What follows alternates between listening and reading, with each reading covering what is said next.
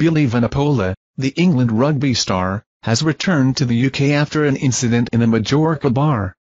Exclusive photos show him arriving at Stansted Airport following his arrest and 250 fine in Majorca. Vunipola appeared sheepish with a cut above his knee, possibly from a taser shot during the altercation. He denied making threats or engaging in violence but pleaded guilty to resisting the law and minor wounding.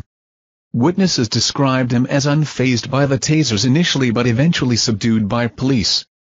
Vunipola apologized for the incident, stating it was a misunderstanding that got out of hand. Saracens Rugby Club stated they would deal with the matter internally. Court officials confirmed his fine and suspended prison sentence. This incident marks a deviation from Vunipola's self-imposed teetotal phase since August 2022.